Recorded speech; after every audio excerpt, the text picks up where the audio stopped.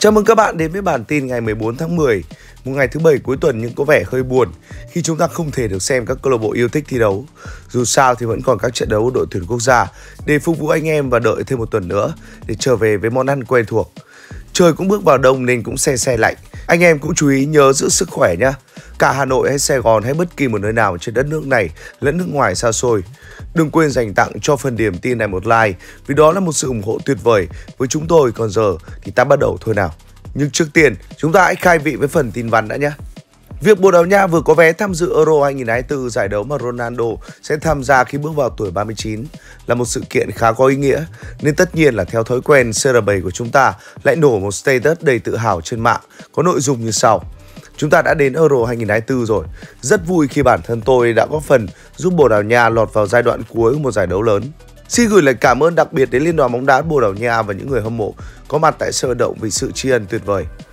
Không chỉ Ronaldo đâu, chúng ta cũng đang bổ hóng lắm rồi. Hy vọng là vào năm sau, anh sẽ thật sự cháy ở kỳ Euro được cho là cuối cùng của mình.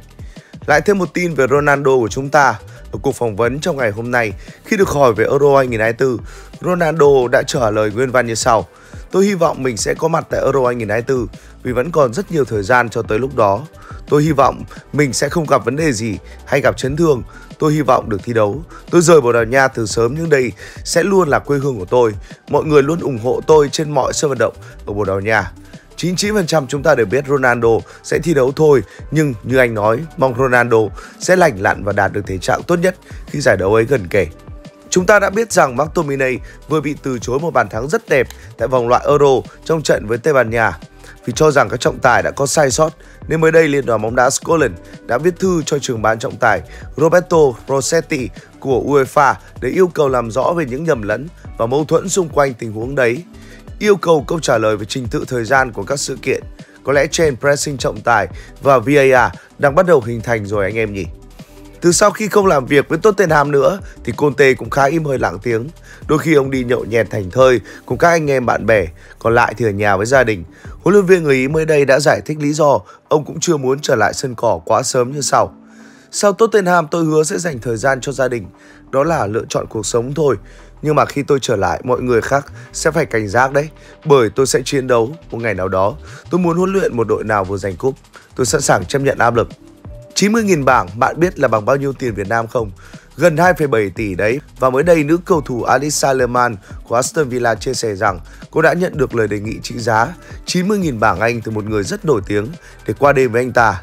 Nữ tiền đạo này là một trong những gương mặt dễ nhận biết nhất của bóng đá nữ quốc tế và có hơn 15,5 triệu người theo dõi trên Instagram, 2,7 tỷ cho một đêm. Có khủng không cơ chứ? Đang có một phong độ rất cao nên Xavi Simon đang là cái tên được chú ý vì Paris Saint-Germain có điều khoản ưu tiên mua lại cầu thủ này nên chuyện phóng viên hỏi anh về tương lai câu lạc bộ nước Pháp cũng không có gì là lạ và anh đã đáp lại như sau. Tương lai tại Paris Saint-Germain á, tôi đang hạnh phúc tại RB Leipzig mà các bạn. Đây là một mùa giải tràn đầy hứng khởi. Có vẻ như cầu thủ người Hà Lan không mặn mà lắm với chuyện quay lại đội bóng cũ. Anh đang sống tốt ở môi trường mới và tận hưởng sự nghiệp của mình nên điều đó cũng dễ hiểu thôi. Sang Ả Rập đá bóng thì sẽ có rất nhiều tiền. Đấy là chuyện đương nhiên và mới đây Marcos Llorente khi được phóng viên hỏi có muốn sang Ả Rập hay không đã nói như sau. Saudi à, cám dỗ đến từ mọi nơi, đó là đặc trưng của nghề bóng đá. Nhưng khi bạn cảm thấy thoải mái một câu lạc bộ vui vẻ tận hưởng bóng đá thì lời đề nghị ở một nơi khác phải thật tuyệt vời để bạn rời khỏi một câu lạc bộ như Atlético. Có lẽ Lorente cũng mê tiền, nhưng hiện tại anh cảm thấy hạnh phúc khi chơi tại đội bóng này hơn trước khi quyết định tìm bể đỗ nào khác cho mình. Vài ngày qua, dư luận cũng chỉ trích huấn luyện viên Southgate vì gọi Jordan Henderson lên đội tuyển quốc gia.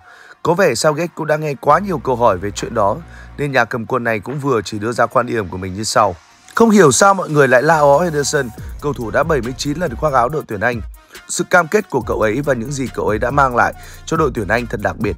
Vai trò của cậu ấy trong và ngoài sân cỏ là cực kỳ quan trọng. Không thể hiểu tại sao họ lại la ó anh ấy. Thực ra huấn luyện viên tuyển Anh cũng nên biết là dư luận có phần chỉ trích ông nhiều hơn là chỉ trích Handel, nhưng dù sao thì đấy cũng là lựa chọn của riêng ông và ông có quyền làm thế. Chúng ta cũng biết là Lionel Messi đang thi đấu cùng các đồng đội ở đội tuyển quốc gia và anh đã không xuất phát trong trận cầu mới nhất của Argentina. Tuy nhiên cũng vì thế mà anh ta có thể thấy được cảnh tượng này khi cánh phóng viên hầu như bỏ qua các đội tuyển đứng trao cờ mà chỉ dồn sự chú ý của họ vào M10. Người lúc ấy đang ngồi trên băng ghế dự bị. Không biết anh em có thấy cảnh tượng này giống với cảnh tượng nào không? Đúng rồi đấy, nó cũng giống như CR7 hồi World Cup 2022 đấy, khi anh cũng phải ngồi ở bên ngoài đầu trận và mọi phóng viên đều tia camera tới anh, bu quanh nơi anh đứng thay vì tập trung vào những người khác ở trên sân. Đó tất nhiên là một điều quá dễ hiểu, phóng viên chỉ chọn những người đáng chú ý nhất thôi mà. Nhưng có vẻ cũng chỉ Messi và Ronaldo là có được sức ảnh hưởng kiểu này. Chủ tịch La Liga Javier Tebas vốn là người không ngừa gì Paris Saint-Germain khi câu lạc bộ này và chính ông từng đá xoáy nhau cả chục lần trên truyền thông. Tuy nhiên cả hai vẫn không lao vào đấm nhau mà vẫn võ mồm trên báo chí là nhiều. Mới đây nhất trong một cuộc phỏng vấn của mình, Tebas tiếp tục ca cầm một chút về gã nhà giàu nước Pháp. Chúng ta đều biết Paris Saint-Germain đã thua lỗ 605 triệu euro. Có lẽ nếu có một giải đấu nào dành cho mấy đội thua lỗ thì Paris Saint-Germain sẽ vô địch. Javier Tebas có mặt tại Festival de los Sports và nhân cơ hội này phát biểu trước khán giả. Trong bài phát biểu của mình, ông ca ngợi mô hình kinh tế của bóng đá Tây Ban Nha. Ông còn đá xoáy một chút Premier League vì đầu tư quá nhanh và bảo vệ La Liga, rằng các câu lạc bộ ở đây không muốn thua lỗ nhiều nên họ tiết kiệm như thế. Theo báo cáo từ tờ Sport của Tây Ban Nha, đội bóng của Nasser Khalafi phải đối mặt với tình trạng thiếu hụt tài chính hơn 370 triệu euro trong năm tài khóa 2022. Lời chỉ trích mới nhất này sẽ chỉ đổ thêm dầu vào mối thù đang diễn ra giữa Tebas và chủ sở hữu Paris Saint-Germain và có khả năng ba lãnh đạo của câu lạc bộ nước Pháp sẽ đáp trả. Suýt nữa thì bạn có thể không còn được thấy Roy Keane bình luận trên sóng của đài thể thao Anh Quốc nữa rồi. Lý do là bởi giám đốc điều hành Hiệp hội bóng đá xứ Wales, ông Noel Money, được cho là muốn bổ nhiệm Roy Keane làm huấn luyện viên đội tuyển quốc gia vào mùa hè, trong bối cảnh áp lực ngày càng gia tăng đối với Robert. Cho đến nay, xứ Wales đã phải trải qua một chiến dịch vòng loại Euro 2024 đầy khó khăn, khi đội bóng của Page chỉ giành được hai chiến thắng, một trận hòa và một trận thua. Cả hai chiến thắng đều là trước các đội bóng nhỏ, trong khi trận thua 2-4 trên sân nhà trước Armenia khiến xứ Wales gặp khó trong việc đuổi kịp các đối thủ Thổ Nhĩ Kỳ và Croatia. Họ đang đứng thứ tư trên bảng xếp hạng trước trận gặp Croatia sắp tới đây. Roy Keane từng có kinh nghiệm huấn luyện ở cấp độ đội tuyển quốc gia sau khi làm trợ lý cho huấn luyện viên Martin O'Neill cho tuyển Cộng hòa Ireland từ năm 2013 đến năm 2018. Tuy nhiên thì nếu ông làm huấn luyện viên trưởng của Wales thì việc tại đài truyền hình coi như là bỏ đi rồi. Quên đi nỗi buồn đang bị đối xử tệ tại Manchester United, Jadon Sancho vẫn đang tận hưởng niềm vui của riêng mình. Mới đây anh đã được phát hiện cùng con trai của Mike Tyson đi quẩy tại hộp đêm tên là Sico Lesoa ở London. Amir là một trong 7 người con của cựu vô địch hạng nặng Mike Tyson. Anh có mối quan hệ khá thân thiết với Sancho và là bạn chí cốt của cầu thủ này. Cứ mỗi khi đến Anh là anh sẽ rủ Sancho đi đâu đó, lần này là London. Theo The Sun, một thành viên tại hộp đêm đã chia sẻ về điều này như sau. Bạn sẽ không bao giờ đoán được sự nghiệp của Jaden đang gặp khó khăn. Anh ấy có nụ cười toe toét suốt đêm.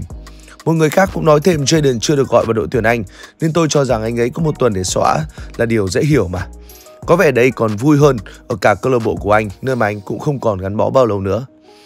Sau khi sự kiện các thủ tại Serie A dính líu tới cá độ nổ ra, thì hiện tại thông tin đã lan rộng hơn và những diễn biến lớn hơn cũng được tiết lộ. Trong đó có đề cập rằng có gần 50 cái tên được cho là liên quan đến các hành vi này. Họ đã khai ra nhau và phải chịu sự điều tra từ phía cảnh sát. Trong đó gồm những cầu thủ có tiếng tăm đang thi đấu ở giải đấu cao nhất Serie A và ba chủ tịch của các câu lạc bộ. Nhiều tin đồn còn cho rằng Serie A có có thể bị hoãn nếu vụ việc nghiêm trọng hơn. Còn đây là danh sách vài cá nhân quan trọng khiến bạn có thể sốc khi được nêu tên. Ở Juventus chúng ta có Nicolo Fagioli, Federico Gatti, Leonardo Bonucci, Milan thì có Sandro Tonali dù đã chuyển sang Newcastle và Alexandro Florenzi.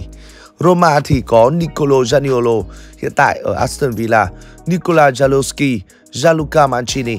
Lazio bao gồm Nicolo Rovella, Alessio Romanoli, Mattia Giacagni, Manuel Lazzani, Luca Pellegrini. Inter thì có cả Nicolo Barella, Davide Fratesi, Raul Belanova. Hy vọng là những cái tên này vui thôi chứ đừng vui quá rồi bet luôn vào các trận đấu của họ thì chắc chắn là nghỉ thi đấu đến nơi rồi. Dạo gần đây có thông tin rộ lên về việc Cristiano Ronaldo có thể phải đối mặt với 99 đòn roi vì tội ngoại tình ở Iran. Nhưng mới đây, phóng viên của Macca đã tới tận đại sứ quán nước này Madrid, đã đứng ra kiểm tra liệu tin này có chuẩn hay chưa và kết quả đó là tin giả. Đại diện của đại sứ quán còn đưa ra một tuyên bố liên quan đến những cáo buộc hoang đường, nói rằng thật khó chịu khi họ phải bác bỏ những tuyên bố vô căn cứ. Tuyên bố này có đoạn được viết như sau. Chúng tôi cực lực phủ nhận việc đưa ra bất kỳ một bản án nào đối với bất kỳ một vận động viên quốc tế nào ở Iran.